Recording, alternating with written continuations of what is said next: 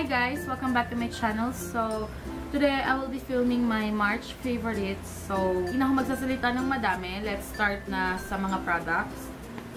Um, ito yung Maybelline. Nakita niyo na siya sa other favorites ko na monthly. But, pinigil ko siya kasi ginagamit ko yung L'Oreal. But, I go back to this. And, uh, paubos na siya. Gagawa ako ng review sa foundation na to. And, bumili ako ng bago kasi super love. Ang ganda ng finish niya, super satin, um, malambot, ah, malambot? No, hindi malambot.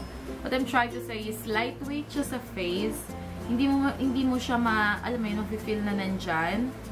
Anyways, I will be doing a review on this foundation. Abangan nyo na lang. Um, gusto ko lang uh, ilagay sa March favorites ko kasi lagi ko siyang ginagamit all, almost every day hindi na ako gumagamit ng ibang foundation, kundi ito lang.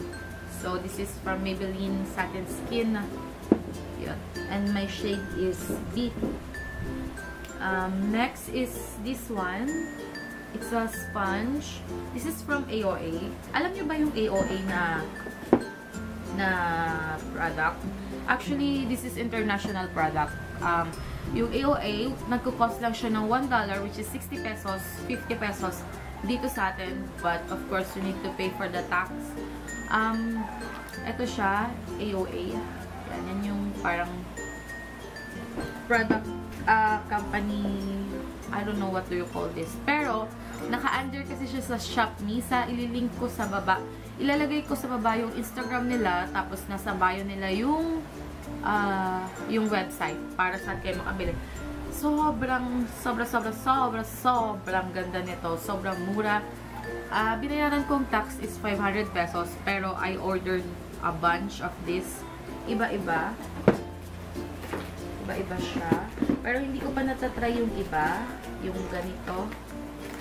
Um, alam mo yun, parang beauty blender. And nabasa ko sa reviews, maganda daw talaga siya. So, yun. Pero ito lang yung ginagamit ko muna kasi gusto ko siyang, gusto ko itong i-film sa makeup haul ko sa Shopee sa kung ano yung mga nabili ko. And I ordered some brushes din para matry out. And this is good guys, worth the money. Kung order kayo sa website nila, make sure na kukuha na kayo ng marami kasi sayang yung yung tax, the 500 pesos. And 15 to 20 days, ma-receive mo na yung product.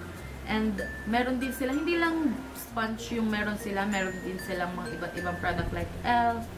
Uh, lahat, uh, just visit their website para malaman nyo and it's good, it's worth it.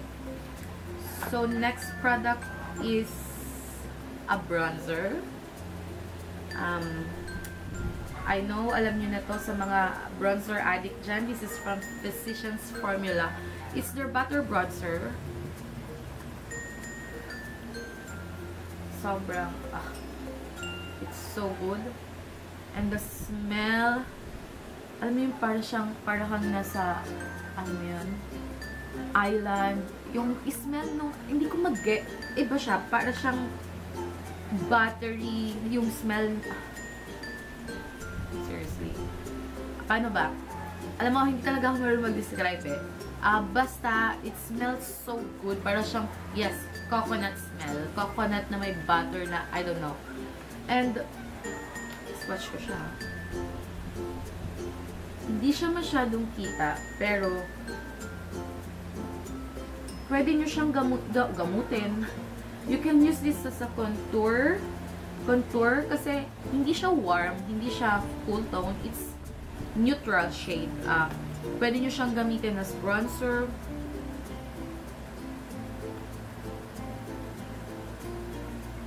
Pwede nyo siyang, wait, lagyan natin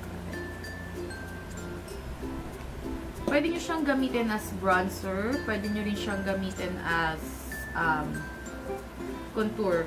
And it comes with a, here, I don't know, I think it's a sponge. Pero never ko pa siyang ginagamit. I don't know why they put this one. Maybe like, I don't know.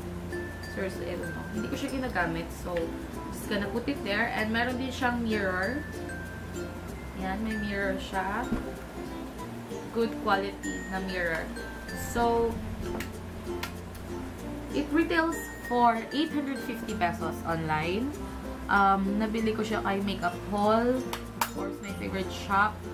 And I use this almost every day. Hmm, Kahit na, alam niyo yun, wala akong blush on. I just need to use this. Hindi, pwedeng hindi ako gumamit nito kasi it looks so, I don't know. Basta ang ganda niya talaga, guys.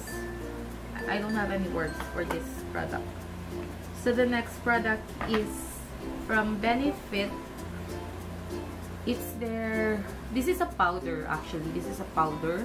Um, deluxe size lang siya. I don't know how much is the big one, but this comes with a, uh, parang promo. Alam mo yun, parang nakas, basta, anyways.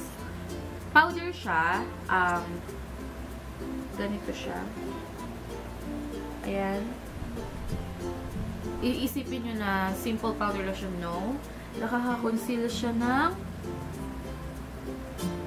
pores. Sobrang parang um, what do you call this? Airbrush yung kakalabasan. Ilalagay ko siya, ang ginagawa ko dito after ng foundation ko, dinadab ko siya dito sa area na marami akong um, pores, yung open na open yung pores ko and it works really well. It works really well on me. Medyo may kamahalan nga lang siya, the bigger size, I don't know, I think it's 1,000 plus, pero ito kasi kasama siya ng, alam mo yun, hindi ko kasi alam yung tawag, uh, back siya, magkakasama sila, I don't like the other products, so ito lang yung ginagamit ko. So, let's move on with the sa cutics mo. This is from how do you say? Juk Jukarste? I don't know.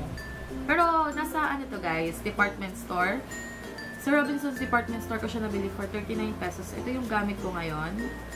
Um, very simple red siya. Pero, alam niyo parang orange orangey red siya. Uh, I gusto-gusto ko yung mga ganong type of color even sa lipsticks. So, ito yung siya. Ito yung gamit ko. Medyo pangit na lang yung pagkalagay ko but 78 pesos. Super ganda nito guys. Medyo may smell lang siya kung kayo yung type of person na hindi gusto yung masyadong matapang. Kasi ito matapang talaga siya. Para siyang chemical. But it works really well. And sobrang mura niya for 78 pesos. Nakaka alam niyo, sobrang creamy and battery niya. Ang battery niya talaga, as in super. Ang bilis niya i-blend. Wala na ako ibang masasabi pa dito sa concealer na to. Mura siya and maganda. So, yun. Um, ano pa ba? Uh, sa lip product naman tayo. This is from Maybelline. Uh, ito yung bago nila na powder mattes. I have a lip swatches. I will link in the description box below kung gusto nyo panoorin. Ito siya. Make Me Blush, yung shade niya. Nung una, ayoko siya. Pero after that, nung sinusuot ko na siya, ito yung suot ko ngayon. Uh, nung sinusuot ko na siya, nagugustuhan ko na and I'm, I'm using it almost pag tuwing aalis ako, not everyday. Hindi naman ako umaalis everyday. So, ayun. And the other lipstick that uh, I'm loving is from Nichido. Swatch. Swatch ko siya. Para siyang dusty rose na, I don't know, um, hindi ko ma-explain. Para siyang brown, dusty rose na pink. It's super good. Sobrang moisturizing niya sa lips. Hindi nga lang siya naglalas, pero I'm using this as a topper. Sa lipstick, as a topper. Example, like that.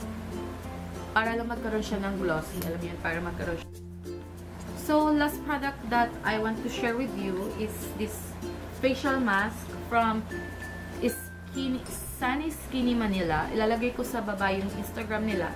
And on, this is only for 25 pesos. 25 pesos, you guys.